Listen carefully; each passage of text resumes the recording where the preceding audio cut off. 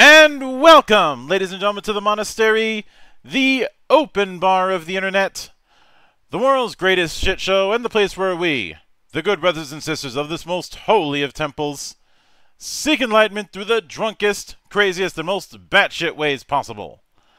I am your one and only gaming monk, better known as Mildra, and with me I have a newcomer into the temple, coming to coming to us from the from the weird and wonderful world of the Endeavor Universal Role Playing Game, which which managed to get funded in about a day.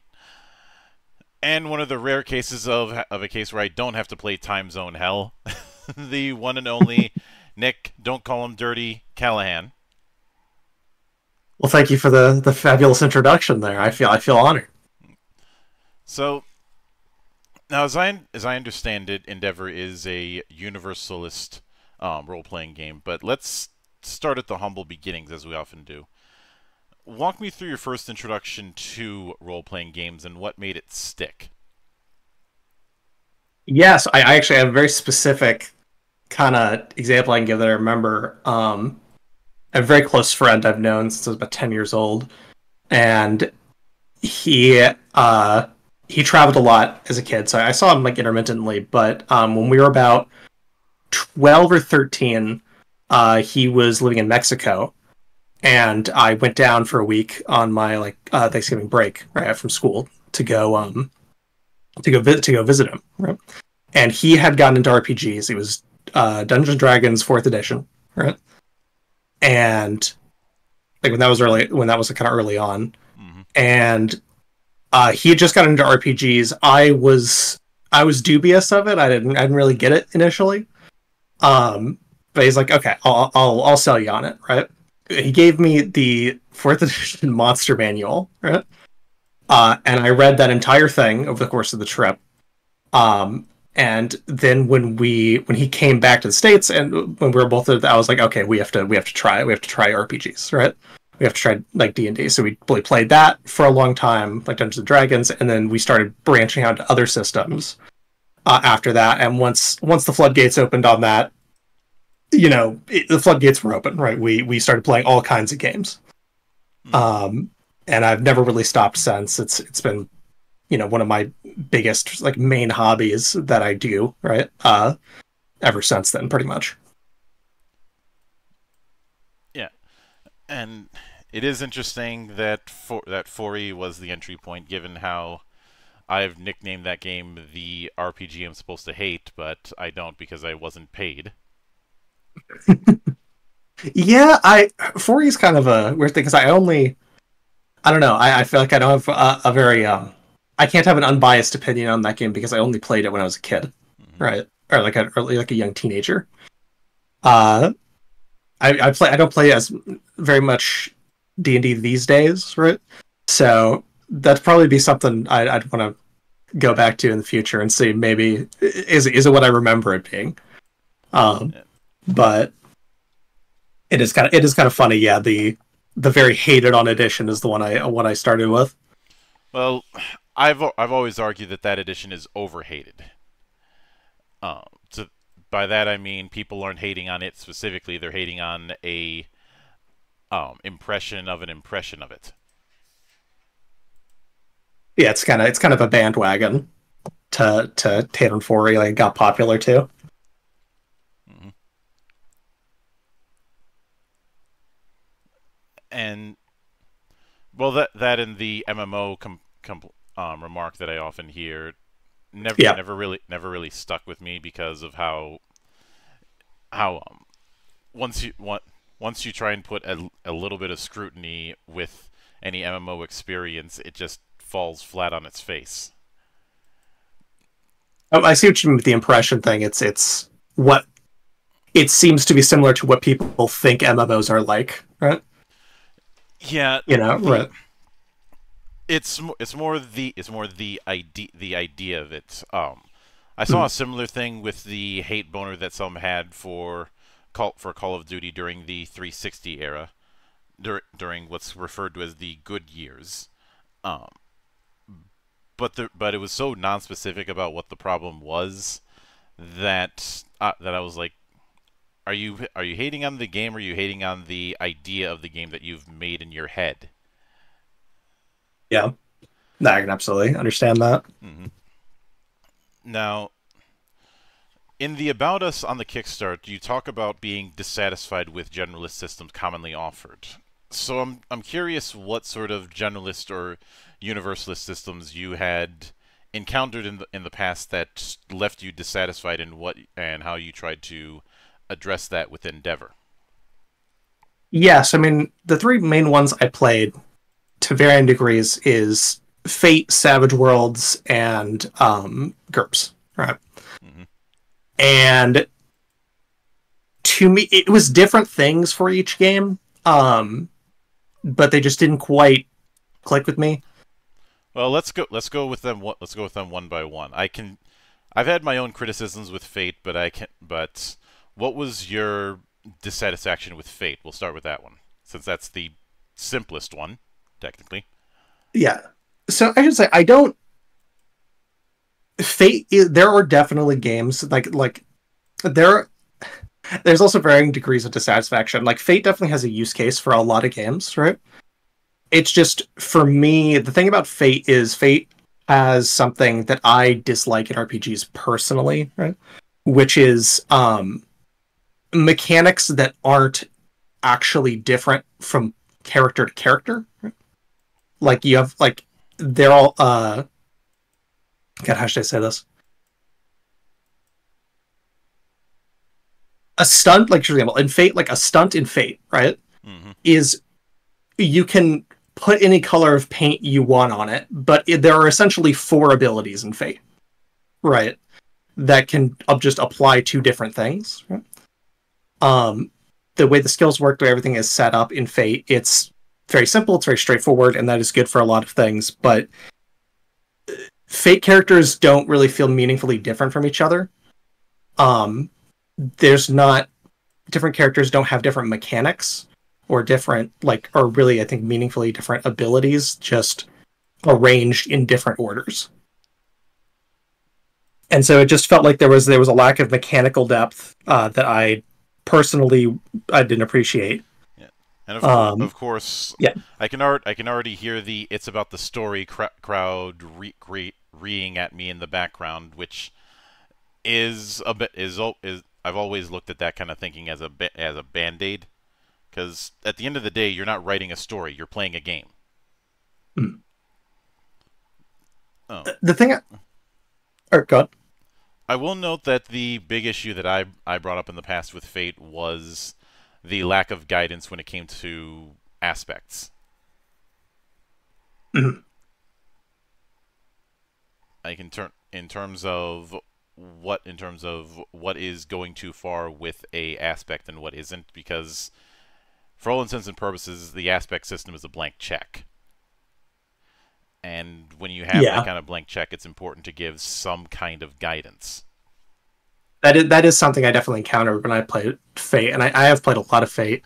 But um, that's something you see in several systems. Any system that has something similar to aspects, right, where it's invoking a thing in exchange for a bonus, uh, is the the GM haggling I kind of call it, right? Mm-hmm. Where it's, you know, you, you're trying to, well, actually, it does make sense in this to get the plus two in this scenario because X, Y, and Z, right? Yeah, people, and fairly, people naturally try to stretch what they have, right, in terms of resources as far as they can, right? And it, it does kind of tend to lead to that. Um, I think any system that has that type of, you know, that type of setup does have that to an extent, but I, I do see what you mean Fate, where it's it's they don't really give much guidance on what like how far you should be able to stretch it, or like what the limiting factors should be on it. Mm-hmm. And the my counterpoint with my counterpoint with all that is the one unique thing in 13th age where there's a two-page spread that goes into good and bad examples and hmm. why. Now, granted, there's not a, there's not as much mechanical weight to the one unique thing, but it is still a blank check. Hmm. But mo that moving on from that, there's also Savage Worlds, which you had had said that you had issues, and is is it a similar issue to the characters mechanically feel too similar, or is it a di- or is it a different um, Uh, satisfaction? for for Savage Worlds, very much. Um, it, it's very much a similar issue. In fact, I Savage Worlds I almost feel is worse, right? In that Savage Worlds, like Fate, at least. Like here's the thing about Fate, right? Is that I, I felt like there wasn't any weight to them. Uh, there, they felt like there was a lack of weight to the mechanics because they most of the mechanics are most things a character can have are just the same several mechanics that can be reskinned. It's so open that you can just do whatever you want with it. And there's some value in that. Savage Worlds, I, I had a lot of issues with because it felt like characters were not meaningfully different. Um, and also there was a lot more restrictions in place, right? Like there's a limited selection of things you can choose from hmm and the things you can choose from don't feel like they change your character that much. Um, Savage Worlds, I think, especially have a problem with the because you have the wild die, right? Uh, a character can never really be that bad at something in Savage Worlds, and also being really good at something isn't that different from being bad at it. So it, ju- it just felt like yeah, it felt like if you have three characters that are good at different things, they don't perform that much differently in a mechanical sense. Like your only difference, like your most major difference is just your role play. hmm Um, which any game you can you role play differences. You're obviously going to role play differences because you're playing a different person. But you know the system should support the fact, in my opinion, that the player characters are different people, right, with different capabilities that's something I, I focused a lot when I was writing Endeavor was making char- you can make two characters in Endeavor that do completely different things and are com- and like have a lot of capabilities, right? That other players do not or that other characters do not, right? hmm Um and have them act and play very, very differently. Uh, moving on to GURPS actually, uh, if I if I can. Hmm Uh, GURPS, GURPS, I think actually had the didn't have that problem. GURPS has the the like GURPS has the mechanics, right? GURPS is a very mechanically in depth game. I I did appreciate that when I was playing it. Um, my problem with anything was that it went a bit too far in the opposite direction. I felt where uh, setup for that setup for GURPS is very difficult, especially with certain types of games. You have to do a lot of prep, um, and there's just a lot of bookkeeping, right? especially uh, just because the way the points system works for making characters. Um, even for like a human level character, it takes a while, and for you know, I played like a superhero game once, the GURPS, right? And it took like five hours to make a character, right? You know, because y- you have to just try ma- manually track everything, and then if you're making like your villain, right, a lot of the times you have to go through that same process. So I felt GURPS as a game, as a in terms of game design, I think GURPS is the best of them. Um, but I think it does have a problem with being unwieldy and slow to play, which is again something I really tried to address in Endeavor. Yeah, GURPS is very front loaded, and I know some people will swear by its um, bell curve, but the fact of the matter is you need multiple session zeros for it. Yeah, And once and once the expansion books come come in, then it becomes less of a game and more of a cry for help. yeah. I have I have a buddy that very much is, uh, yeah, I'd say like he's GURPS' strongest soldier, right? Um, but you know, I think I think I think it just says like I my friend a friend of mine who is like you know the biggest like GURPS fan I know, right? Uh, stopped running his GURPS game because it was too much prep, right? Like, so that I think that kind of says something. Yeah, Um, I will admit that I will admit my own biases. I like giving GURPS um, stalwarts a, bu- a bunch of crap for the insistence that the insistence that keeps getting thrown at me of oh you can use GURPS to run anything, Which technically speaking is correct.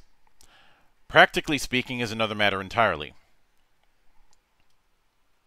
Yeah, the, the thing about it is, I don't, I don't doubt you can run anything with GURPS. Like I, I, I believe that. Right? I like GURPS 100%. I think succeeds at its goal, which is being the game that you can use to run anything. Right? It's just I think mechanically speaking, GURPS at high levels is at high like power levels is cumbersome, and at low power levels can be kind of boring. Um, in terms of its mechanics. Mm-hmm. But I, I would say GURPS is, in my opinion, from a game design perspective, the best of the like three really big generalist systems that come to my head. Yeah. Right? You know, of, of Fate, Savage GURPS And I'm guessing you haven't messed around with, say, um, with say Hero System. That's got one or two times. That's just a, that just some that's just a case of you know nobody might like the group that I played with really messed around with it much. So I never. I've read through it a bit a long time ago, um, but kind of bounced. So I, I I can't really say too much on that because I'm not I'm not as familiar with it. Mm-hmm.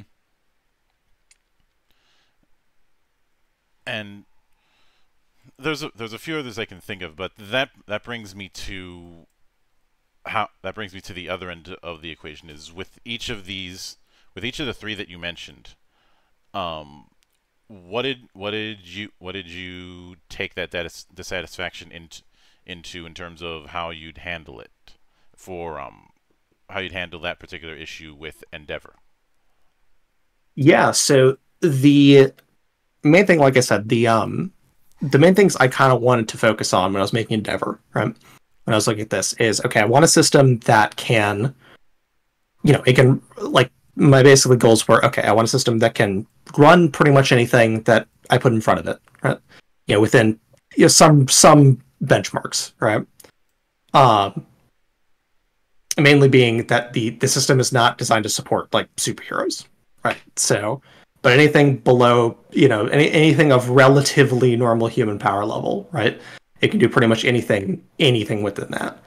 Um, so that's the one thing I wanted. Second, I wanted something that had actual mechanical depth, and big thing, I wanted characters to feel really different from each other based on how you spec them, and players to have like really different capabilities. Right? Um, that was one thing, just from a mechanics perspective that was one thing is the difference between a character that is has no skill at a task and has maximum skill at a task is like is massive right um that's something that happens in things like savage worlds or like a lot of d100 systems right where it, you you basically can never guarantee a roll or like guarantee that you can't succeed the roll like there's always like a relatively decent chance right? just because of the way the dice system works. Endeavor, that's not true. You can get to rolls where it's you straight up cannot do this, or you are guaranteed to do this. Um, if you are like at a high enough skill level or have you know enough bonuses. Mm. Um, a big part of that also was just adding a lot of abilities uh, to the game and giving them lots of options. The biggest one uh, and kind of the central one, the system is the heroic traits. Um, which are basically every when you make a character, you pick your heroic trait. That's the first thing you do. Your character has that heroic trait. No one else will have that. Um, none of the other player characters will have that. The only other people that can have even a heroic trait, um, let alone yours, is you know your story villains, your big bad evil guys, right? Um, like those types of characters, Mm-hmm. and they have a very very powerful and very and in practical terms, you know, unreplicatable right ability, ability, right? That really changes how they play. So, like, I the example I always give because it's a very straightforward example is uh, one of the heroic traits is Herculean strength, right? Pretty easy Yeah. to understand what that is, right? Uh, mechanic, what that does, it's a D6 dice pool system. Um, with Herculean strength, you roll D8s along with several other uh, miscellaneous bonuses Mm-hmm. basically, you know, you're not, you know, you're not necessarily you're not lifting a building, right? You're not necessarily super powered, but you know, you're like fighting you're like fighting bears in the woods and stuff like that, right? It's it's that kind of, you know, urban legend level like strength, right? Um or another like one of them is just straight up magic, right? You have magic powers, right? uh, you are like a wizard, right? And, and there's a whole rule section for that. Or you're psychic, or um, uh, one of them is like immensely lucky, right? Which lets you explode sixes, right? Or there's 30 of them, right? So there's a lot of them uh, for you know various various uses. Um, so it's pretty it's pretty hard to find to not find anything you like hmm but yeah, that was one of the biggest things I did was that was one of the things I started with was that heroic trait system.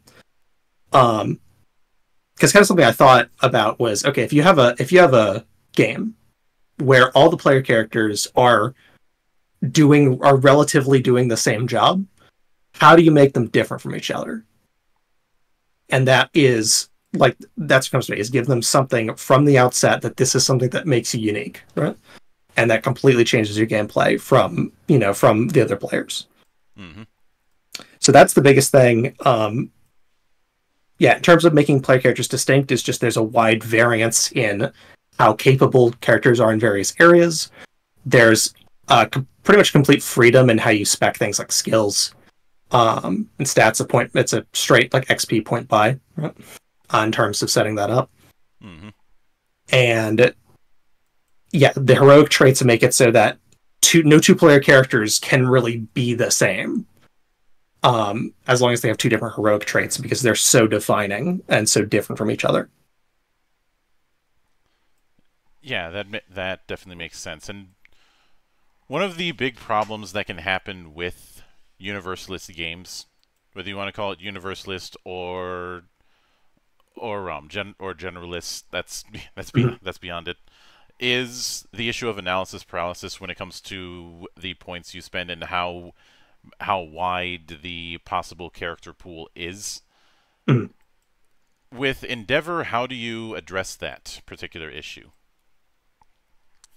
So it tends to run pretty straightforward uh, in my experience, mainly because uh, well, for a couple of reasons. One is um, it's broken up into segments, right?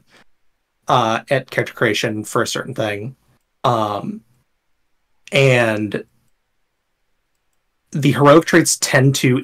That's something I think is actually a strength of the heroic traits is that they really tend to inform character builds a lot. So people pick their heroic trait first, and then a lot of this, and a, a lot of the at least initial stuff they pick in terms of like their skills, right, their stats, uh, tends to be very you know straightforward from that. Um, like obviously, right, if you're if you have you know Herculean strength, right, as a heroic trait, you're probably going to want to you know take some extra. You might want to take some extra in like strength or like boost your toughness or something to be you know just kind of a physical powerhouse, right? mm-hmm. Um, or if you have, you know, another trait is a true scholar, which boosts all your knowledge rolls. Um, probably going to take uh, a bonus to your wits. I should say the the five there's five stats in the game. It's wits, willpower, strength, toughness, and dexterity. Um, so yeah, the character tends to inform a lot of the decisions, and it runs pretty smoothly because of that. Um, other than that, I think a good way I've, I've, I've when I've been running the game um, to people or explaining to them for the first time, a good way to look at it is there's another set of abilities just called perks. Um, you know, pretty standard uh, RPG stuff, just set of you know extra abilities, right? It's almost 200 of those, and I something I, I often tell uh, players is okay, l- just look at the perks you want, find the perks you want, and then just build your character so you meet the prerequisites for those. Um, and again, it usually runs pretty fast. Like if you're if someone's familiar with the game, it usually doesn't take more than you know 10, 15 minutes to make a character. hmm And I think that I think that's a good call because well the well like we said before when in these kind of things when you can do just about anything there's the issue of analysis paralysis and the issue of uh, having a having a um, character creation session zero that ends up lasting a lifetime. Yeah. No, I absolutely understand that.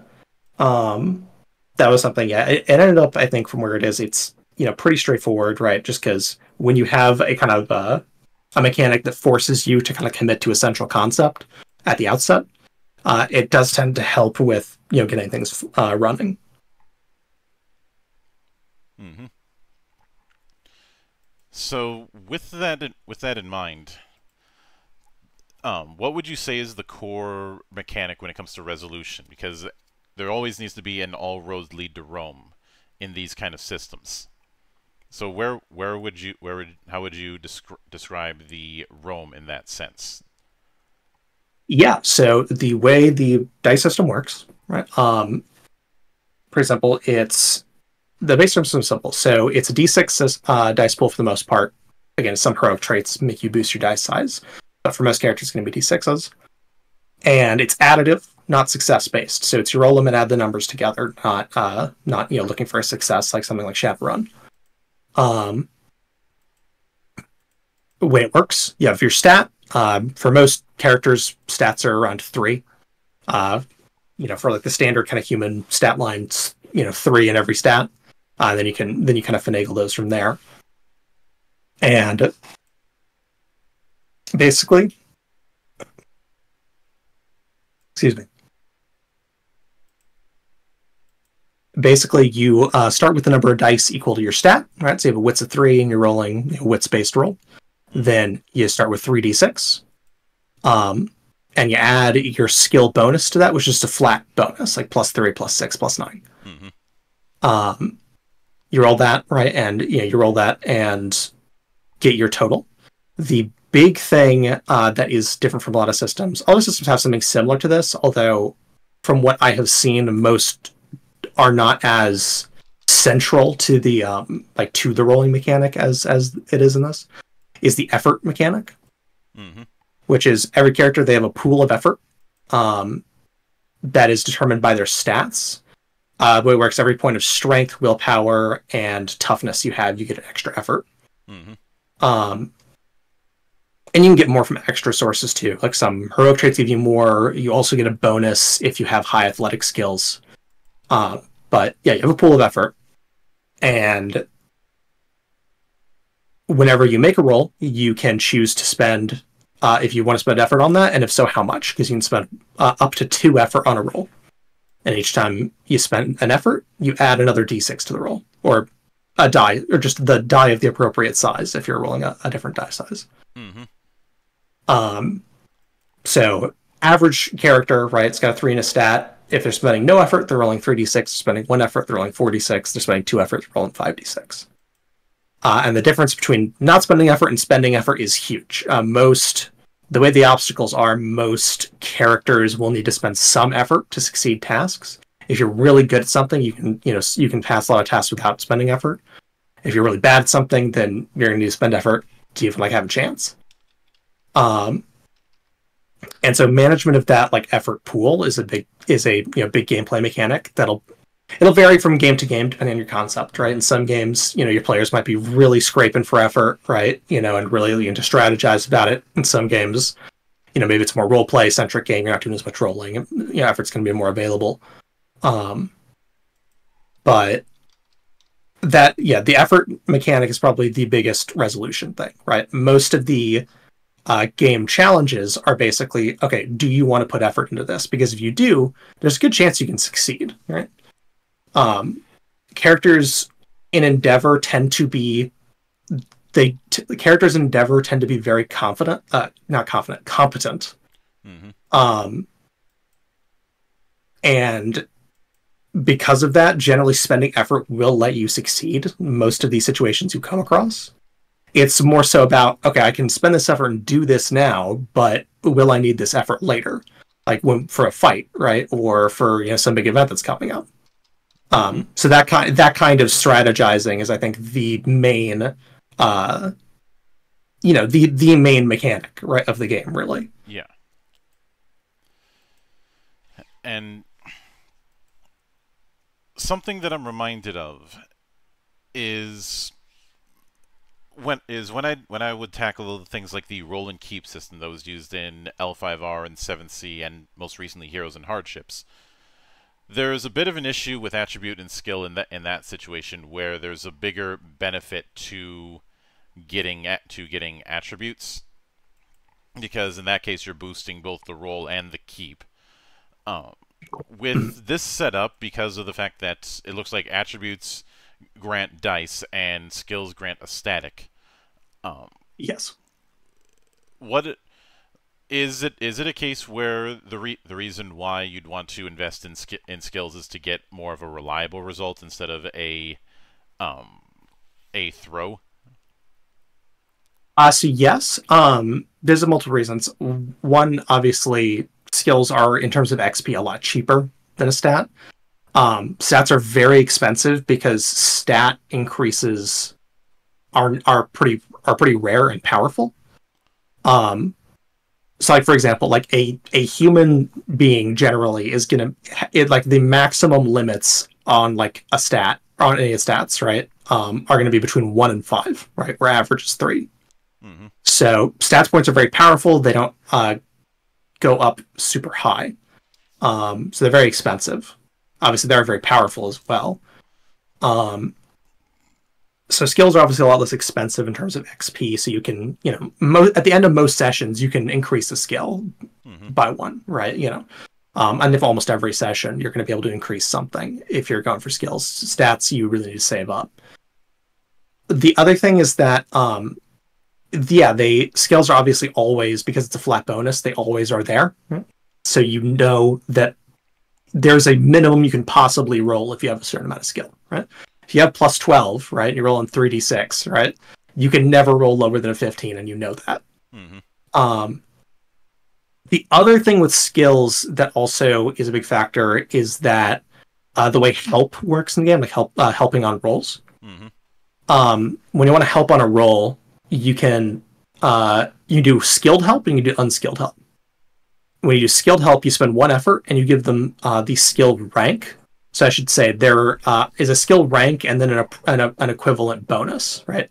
So, for example, rank two is a plus three bonus, and rank three is a plus six bonus. hmm Um, whenever you help someone, you spend an effort and you give them the rank, right? So if you have rank three in a skill, you give them a plus three bonus. So having high skills makes you better at helping people, um, as well, right? Because you've got more, you know, expertise. It also helps with a lot of the perks. Uh, a lot of perk abilities uh, factor with the rank of the of like a, a skill that you have hmm um, so that interacts with that as well. And uh, also, probably the biggest thing with skills is one of the categories of skills, the trade skills, right? Um, which is your knowledges and like medicine, and it's also um, it's also like professions. And there is a mechanic called the trade skill bonus, where you can add the rank of a trade skill you have to rolls where it makes sense that knowing that job would help you hmm right? So I, so I, if you have uh, the example I give in the book uh, is, you know, if you're like if your character's like a lawyer, right, and they're trying to convince someone to take like a plea deal, you have a rank three lawyer trade skill, right? Well, you get a plus three bonus to your roll to convince this guy, right? Because you know you would be benefited by knowing what you're talking about. Um, so yeah, all those things I mentioned are the main reason like skills are important to invest in. I've seen a lot of uh, players play it both ways, where they invest a lot in stats or they invest a lot in skills and like nothing in stats. Um, and I would say they're about on par, but strong in different ways. Mm-hmm. So, with that with that in mind, I th- one of the other things that c- can come up with when it comes to Universalist is this is the whole idea of accounting for ver- for various genres. Yeah.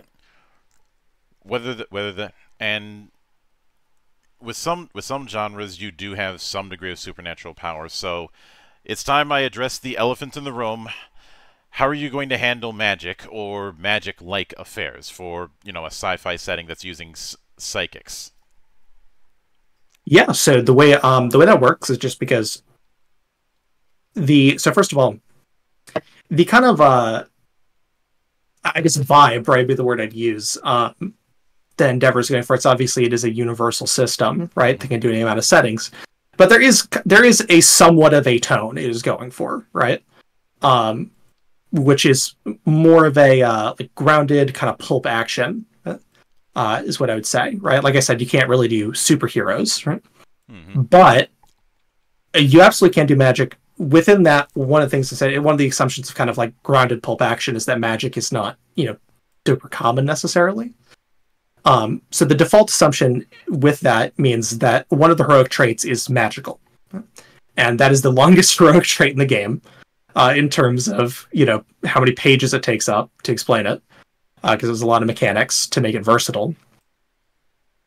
And the way that trait works, um, basically you pick from a list of like origins, like what, why are you able to do magic, right? it's like we're, it, it has a list of like, okay, you can do it just because it's it's inside you, like you can do it, right? Or you made a contract with like a demon or something, or you know you have like a wand and like arcane charms and all that, right?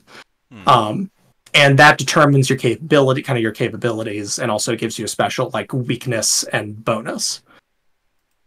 And basically, the simple way that magic works is you have a list of, of magic like effects you can do, um, that you pick from a list and whenever you say you're doing a spell, right, you need to spend an effort to cast the spell, right, before spending whatever effort you're going to do on the roll. Um, so, so you lose an additional effort when you do magic, and you if you uh, you select what effect you're using, and then you make the roll using your magical power stat. So you gain a new stat when you when you, when you have magic, right? Yeah. Um, right. So basically, it works for the most part like a normal skill roll, except for the except for that you spend extra effort and you substitute your magical power. Um, except for you know, for a lot of rolls, for a lot of uses, it's going to be normal stat. Like if you're you know shooting a fireball at someone, then you're you're making an attack roll. That's pretty one to one. Um, uh, oh what's what I'm looking for? Uh, translation. Um, but there are also a ton of more in-depth rules for various things like summoning right or enchanting or uh, like here's the obstacle to you know like it, for, for various like trying to see things supernaturally like see through a wall or see the future right um so basically there's an in a whole in-depth system for magic. Again the default assumption is that you know one one player character is going to have is one player character is going to have that but the whole the system is designed the way it's set up it's designed to be robust to be used by you know multiple people or to be uh, used in a general sense. Um so if in whatever setting you're playing if everybody's magic then you can just make everybody magic and it will work just as good mm-hmm. um there's also uh, working a bit differently. There's also uh, separately the psychic heroic trait, um, which I made its own heroic trait just because it. I wanted to make it work differently, and that it's not something you're you know knowledgeable of or focused on, but rather something that's kind of innate to you, um, and has more. Uh, as it has a different set of mechanics, but kind of similar in that there's a big list of abilities you can choose from. Hmm. Um, that give you various effects. Like for example, like you know, you can take telekinesis level one, which lets you you know lift stuff with your mind, throw that you throw it around, and you know slap people across the room if you want to, or like then you can upgrade that to like level two and you know stop bullets with your mind neo style right? Or you know do other stuff like that. Um or you maybe you go for like you know pyrokinesis or uh you know telepathy right? Or you know what have you. Uh, a, a, personal favorite uh, that i've seen used a lot is level three divination, uh, which allows you to basically go back to the beginning of the scene uh, as your character like receives the events that had previously happened as a vision. Um, now to get to level three, that takes up your entire heroic trait, so it's you know it's a, it's a big cost for it, but it's a really powerful ability uh, that I've seen a lot of players use just because you know it's cool. Mm-hmm. There's also uh, oh I should also say uh, this was a um, kind of late in the development edition. There's also specific rules for creating magical items. Um, and there's uh, several heroic traits and mechanics that are magic adjacent. Like there's a uh, like so there's a segment for creating like your own like character, uh, like races and species if you're like playing an alien or elf or whatever. Um, and one of the abilities in that is like naturally magical, which means you get like a kind of a miniature, like less powerful, you know, magical ability. Um, so, depending on the type of game you're playing, it can be it can be pretty prevalent, um, and you can obviously take those mechanics and use them however you want. Yeah, I can. I can I can certainly get that. Now, with that with that said, when it when it comes to when it comes to creating adversaries, whether you want to call whether you want to call them monsters, NPCs, or what have you, are they built the same way that characters are? So they can be, uh, depending if you want them to be, but they don't have to. Um, I have it kind of in the book. I have it. You have. Uh, sorry, I got to get my words here. In the book, you have it split up into three different types of enemies. right? Um, you have basically your your goons, your extras, right? Mhm. Who are they're not statted out like a player character. All you do for them is you just they don't have effort, they don't have you know a full stat sheet. Um, they just have here is the list of their stats and their bonuses, right? And then you can s- and uh, there's also a list of suggested perks if you want to like give them a perk or two to to make them you know make your goons act a certain way. Um, and those are there's a, a big section uh, in the book of like of sample uh, of like these like sample goons right for like various jobs. Um, so you know just like okay here's what a standard guy looks like and you just pull them out of the book hmm or you can make their own. It's very simple. Uh, then you have elites, which are statted, which are statted out like a player character, with the exception that they don't have a heroic trait. Right. So they're they're treated like a player character for every purpose except that they don't have a heroic trait. Hmm. Um, and this is your boss, you know, your like boss encounter, right? Uh, they're usually statted out to have more XP than the player characters, right? And so this is your like boss encounter guy. Um, I will note uh, just something the way the mechanics work uh, is that I, I found interesting uh, is that, and this is something that uh, ha- is true for all characters, uh, is that player characters and these enemies by extension scale in competence more than they scale in durability. Uh, player uh, characters don't scale in durability very much uh, at all in Endeavor hmm um, which means that especially at higher levels you have characters that are very competent and can do like a lot of crazy stuff but you know a bullet's still gonna kill them right? you know a bullet's still gonna hurt right if they get hit by it uh, player characters never really out of danger. Um, that does have the effect that the kind of 1v4 raid boss um, you kind of you'd see it like often like in something like d&d um, doesn't work as well.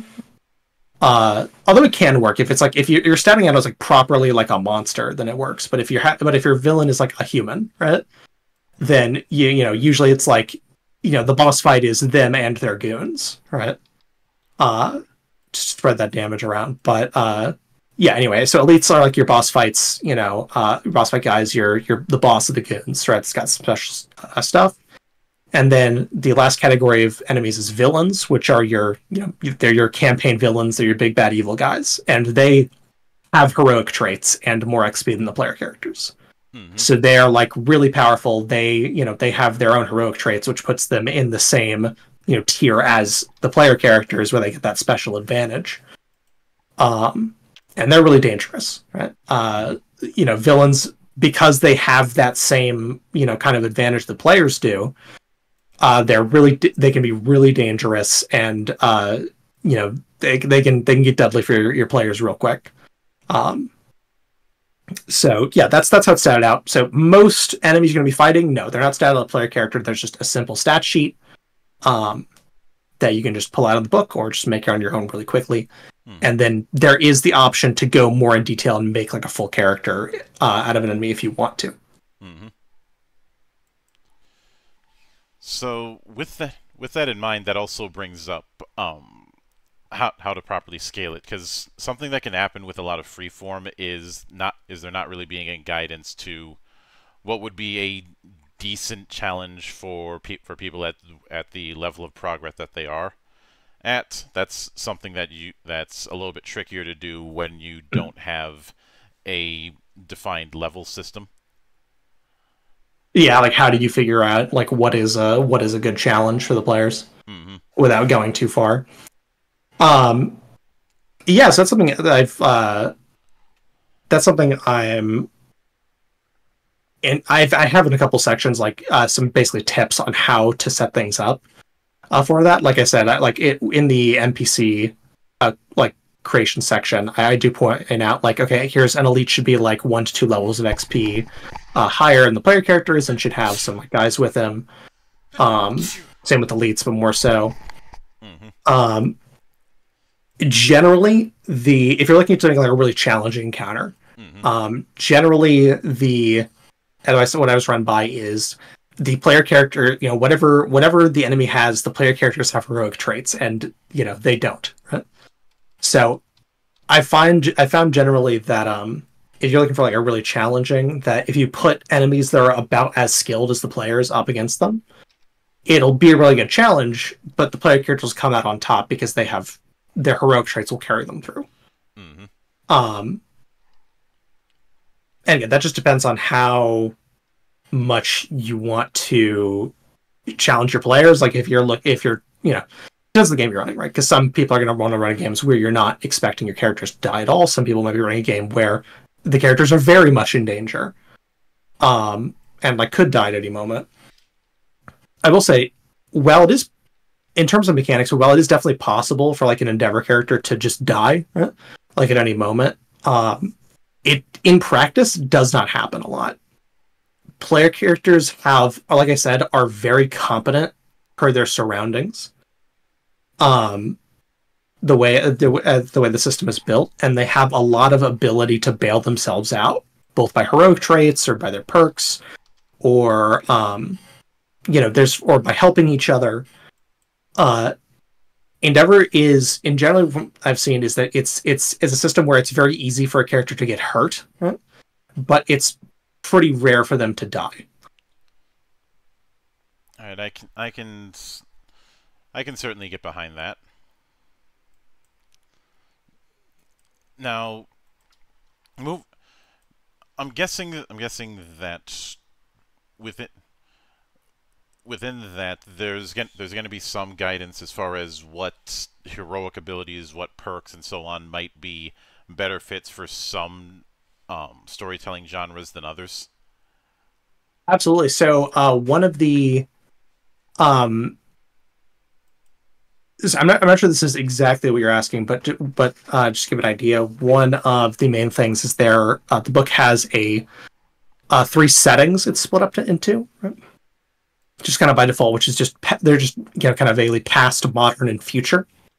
Um, and a lot of the perks and abilities uh, are split up. The all of the perks uh, and the heroic traits have a list of what settings you can use the tra- the trait of the perk in hmm um you know i.e right it doesn't make sense to you know have you know it doesn't really work to have your like you know perk that lets you shoot your machine gun faster in a medieval setting right so that's a you know that's a modern locked right. uh perk. Hmm um or you know there's like one of the uh one of the perks uh is uh i just off the top of my head there's a perk called uh, electric desires right? Which is uh it lets you implant more cybernetics than you normally are able to. Hmm um and that is obviously a future locked one right? Because you know cybernetics don't are are locked in future right a lot of the as you would imagine the equipment is very you know locked to uh you know the time period. Right so you can't you know you can't you're not allowed to take your laser gun uh in the 17th century. Um but there's also a lot of stuff like there's a list of cybernetics right? There's like like i said rules for like magic weapons or equipment uh, or, or like you know rules for vehicles, stuff like that. That is all you know in its uh, kind of own place where it's like okay, if you're having a modern game, this is the stuff that like you can use, and this is the stuff that's available to you. Uh, that makes sense. Um, in terms of like what abilities would be more or less appropriate, um, most of the perks and her traits really work for most settings. The only the only restriction mainly is just you know if you're playing a game that's set in the real world, then you know hey you, you turn off like the, the obviously supernatural traits, right? You know stuff like being magic or psychic, right? Yeah. Um. right. You know, or if it's uh if it just doesn't work for your world, right? You know, if there's like like one of the traits is uh divine protection, which is just you know God has your back basically um and that like there's a lot of settings where that just doesn't make sense, right? You know, so it's like okay, right? You know, you can you can you can ice that one, right? Uh, if you need to. Um, there's lots of examples of that. So, it's, but it's one of those Yeah, yeah, things to it's one of those things that's important to bring up, especially since for for one, um, a lot of a lot of um, a lot of universalist games will just throw all of the perks, skills, what have you, and that right in front of you and say figure it out, um, with the excuse of this isn't this is more of a programming language than a game. Uh, but there's there's also the fact that not to, not um not every one setting within, within a particular genre is going to be created equal. You can have um you can have two high fantasy settings, but they may ha- but the way that they use magic may be so completely divorced from each other that that, that um you, that a one size fits all can um couldn't be done. yeah, Like imagine imagine for instance saying that the magic in say Full Metal Alchemist had to be used in, with the same set of mechanics as the magic in in say um I, I don't know Mistborn. yeah, that that definitely would not Even work. even though the only thing that they have in common is supernatural ability and that's Yes. it. that they are called magic. Yeah, Well. I know what I know the argument is it's not ma- it's not magic, it's science when it comes to Full Metal Alchemist, but let's call a spade a spade. it's it's magic. It's magic. I don't. I'm not even gonna hear that. It's alchemy is magic. Okay. hmm Um. It, you know, it'll be when someone can do that in the real world. It'll be science. Until then, it's magic. hmm Uh. Yeah, I mean that's something. Just talking about like magic uh stuff, like the, the way the magic trait works. You know, I, I couldn't really explain it in detail without like you know pulling up the sheet and reading it, but um, it is wide and like versatile enough that you can cover pretty much a vast majority of, of things uh, with Mhm. that. Um, like you could definitely, uh, like you could definitely do the uh the Full Metal Alchemist, uh, like you could do alchemy in the magic system, for example. I know Mhm. that. In fact, I know exactly how you do that. You take uh, you take um, you take the origin where it's you have magical charms, right? And your spell focus is the uh the gloves they wear with the uh with the alchemy circle on it. Well, Because most only- most alchemists most alchemists because most alchemists have to do it. You know? every most people have to do a transmutation circle. Um, Yeah. The only one who does it on their gloves is Mustang because of because of the whole snapping his fingers to make explosions thing. Well, I think uh, I think uh, Armstrong does as well because he has the the like Yeah. cestus gloves. Yeah. Yeah, I forget I forgot about that that whole thing with Armstrong, the least subtle man in the history of subtlety. I said that's that's a hard band to forget. I don't know how you got there. Um, but When you have a bunch of systems running in your head, sometimes things get cross-wired. yeah, but yeah, but, but you get the idea. Like the point is, is like you know, most magic systems generally, unless they're you know so, so esoteric that they're you know beyond the realms. Like most magic systems, I can confidently say can be um, done by that.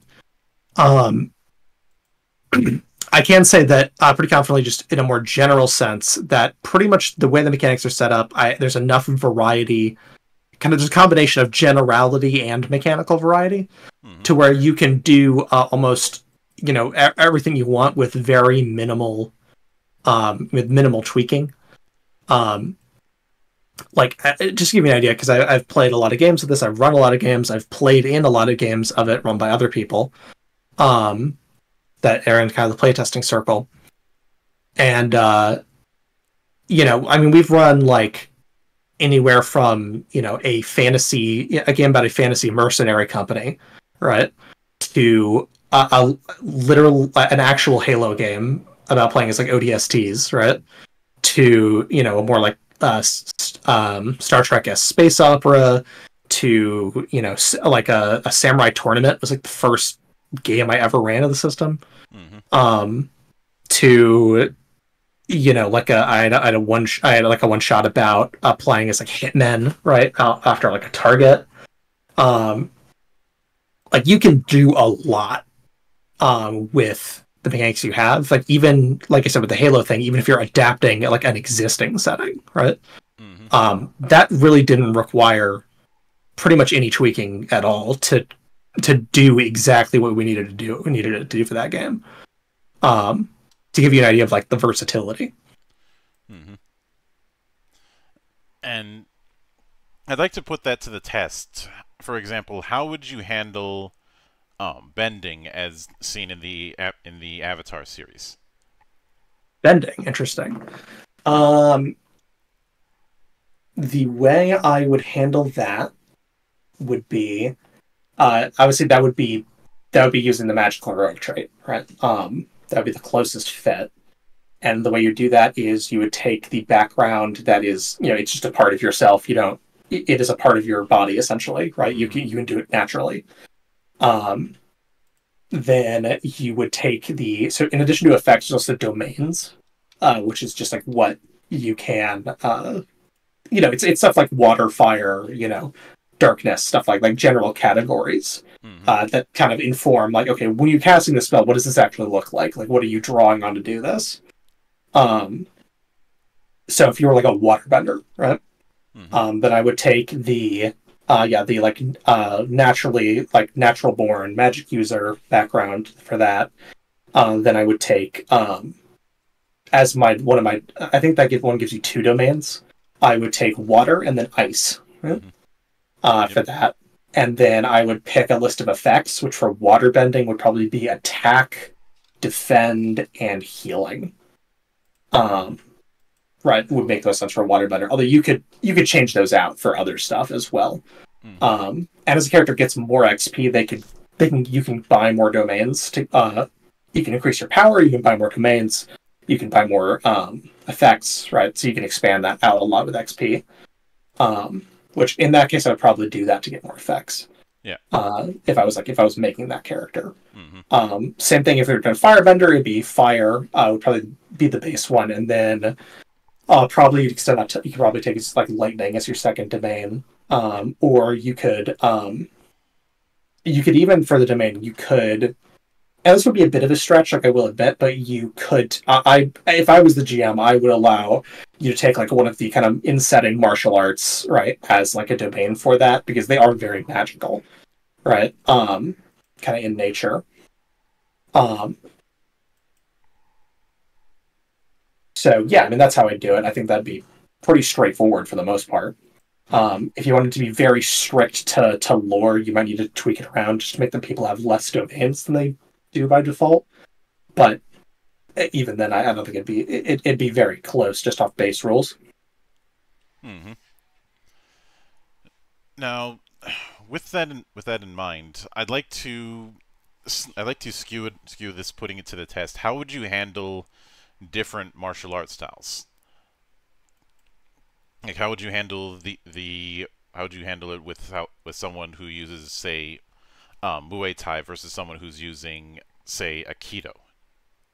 Yeah, so there is um so the basic combat skills are very general, right? So there's, there's four combat skills, um and they're not exclusively used in well, two of them are, but uh, two of them are more general. Um, there's four combat skills, which is um, you know melee attack, range attack, uh, reflexes, and footwork. hmm Right. And uh, you know, first two I don't think need explaining.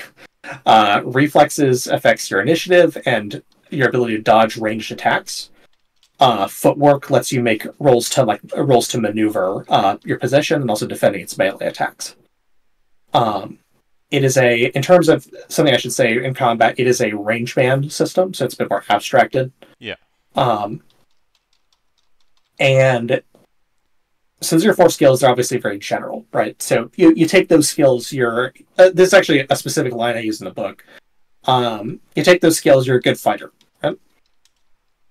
But the way you differentiate is that there is a whole section of perks called style perks um, for a specific kind of weapon group, right? Uh, uh, of which one of which is unarmed attacks, right? Like uh, you know, your fists, right? hmm Um, and it is a each style perk is a list of six abilities, right? When you take the perk, you pick two. Right? So even two people can take unarmed style and have completely different abilities from that. Um, and that includes they have a variety of things like here. You know, what? let me, let me pull up. Why me just pull up PDF and like read that perk off to you right now. Um, We'll do it live. mm-hmm. Right, just to give you an idea.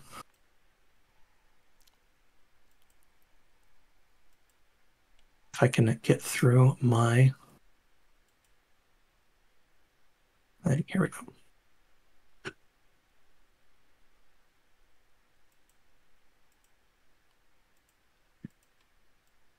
see, perk list. Combat skill perks.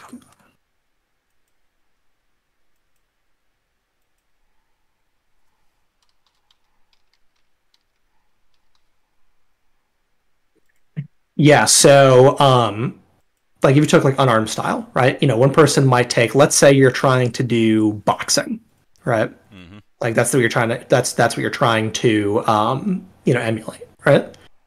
So then one thing you might one ability you get a list of two abilities on the list. So one you might take is uh you inflict the dazed condition when you deal damage, when you successfully deal damage with an unarmed attack, right? So you know, you're got those heavy hands, right? You're knocking the hell out of people, right, when you hit them, right? Um, and then the other one you might take, there's another kind of in a similar note, right? If you're you're very Muhammad Ali, right, like float like a butterfly, is you inflict the winded condition when you dodge a melee attack, right? Right. So you take the both of those, right? And so it's you know you're hitting hard, you're you're literally Muhammad Ali, right? You're you're floating like a butterfly and stinging like a bee, right? Mhm. Um, you know, and that's that's your boxing, right? Versus let's say another character, it's like you know they're good, want to be good at unarmed, right? But let's say it's more like a military like CQB type thing, right?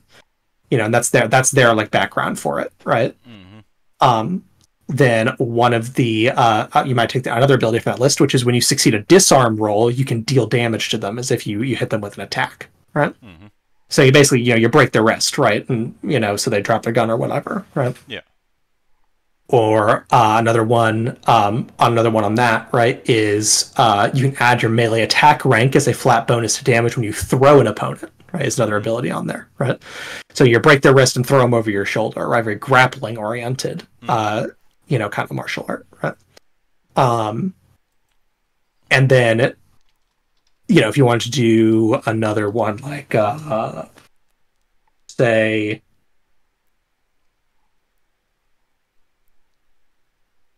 uh, let's say like let's say kung fu, right? Very striking oriented, you know, um, uh, martial art, right? Right. So one you might take is one of the effects you can take is you can count your unarmed attacks as having a weapon quality, right? Because there's a list of uh, qualities you you give to weapons, right? Um, to kind of differentiate what they're like, right? So, and this is just that's on both a mechanical and a flavor thing, right? So it's like if you have a sword, right? Um, you might give it the slicer quality, right, and say it's it's a scimitar, right, and that has both a mechanical effect, also just informs what the weapon looks like. Um, hmm but so let's say yeah you're doing kung fu. Let's say you want let's say you, t- you took that you get you can count your unarmed attacks having a weapon quality.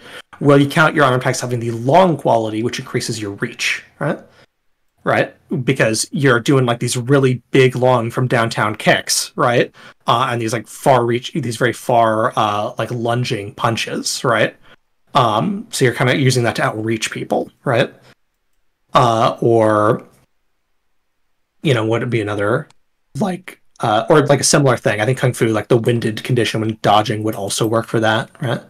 Um, another one is uh, if you're doing like wrestling, right? Mhm. There's another ability of that which is your reach counts as negative one when you're in a grapple. Um, basically, uh, melee weapons have a reach quality, so, and having more reach than the other guy helps you generally. It makes you better at defending. Um, unless you're in a grapple, in which case it reverses and having a shorter weapon is better right so Mhm. You know uh, that's like a, that's an example of it gives you uh, better defense when in a grapple right? If you're doing like wrestling right? As your you know what you're trying to represent. So you get the idea. I mean there's a lot of stuff you can represent uh, with that especially with the weapon quality one because there's that you know that puts you on another table you can choose from right? So you know there's a lot of inherent variety within that to pick and choose. Hmm I can I can certainly get that. Now, within the full book, do you plan on putting any any sort of um, sample adventure or or bestiary that or that kind of example setup?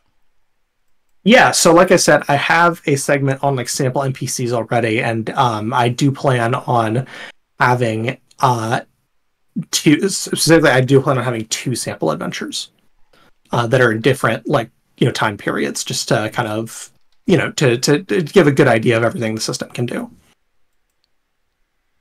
Yeah, I can I can certainly get that.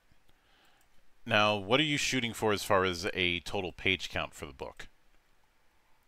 So it'll end up being probably in close to 300 pages, probably a bit under that. Um, I would think. Let me let me take a look. So I look at it now. Right, I'm still working on the uh the adventures. That's something. That's kind of the final thing I'm adding. But uh, yeah, after adding that, it'll be it'll be close to 300 pages. Mm -hmm. I can certainly get that.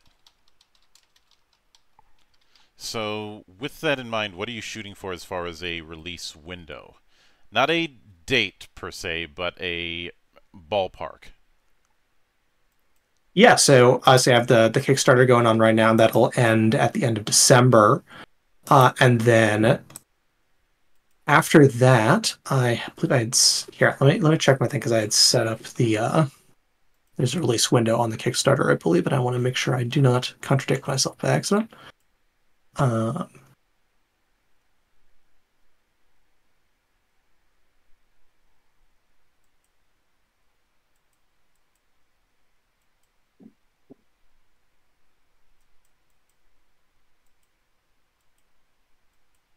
Uh, yeah. So my um, yeah, what I have in the Kickstarter is June of next year at, as the delivery date I set. That's definitely a you know at the latest date. I'd like to uh, get it released earlier than that. Um, but that's my absolutely nothing could happen that would prevent me from releasing it. You know before uh, after June of next year. hmm I can, So- and I will I will certainly be be looking forward to seeing how it develops. Oh, okay, I appreciate that. But with with that said, I would like to sincerely thank you for taking the time out of your schedule to come all the way to my temple and enjoy the madness that happens around here.